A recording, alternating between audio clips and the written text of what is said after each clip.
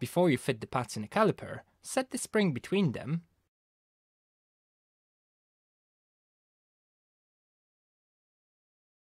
and hold them together.